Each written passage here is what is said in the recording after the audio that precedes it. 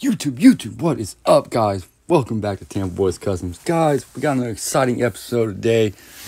You see the Trailmaster MB200. It's coming along. That's the new motor on there. Just got to weld that frame up and should be ready to rip. Still waiting on the tires.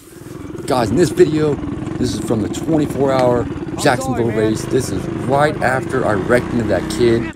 This is the video right after. I didn't even realize I had this footage. So sorry about the cussing, guys. Um, I'll try to see if I can bleep it out. Guys, this track was so wet and slippery. There were guys falling all around me. I cannot believe I stayed on the bike. Guys, if you like this kind of footage, make sure you hit that bell, man. Share this video out. It really helps. We really appreciate it. Think about becoming a member. We now have 39 awesome members of TBC. You guys allow it so I can go to these races and, and do these kind of things with these mini bikes. Without you guys, I wouldn't be able to do this stuff. We're going racing this weekend at the Gambler 500 at Wildwood, Florida at Spider MX. I'll be live on Saturday. Hope to see you guys there. Hopefully this video will be out before then, as long as I get it uploaded. Guys, enjoy the show, man. What a crazy ride.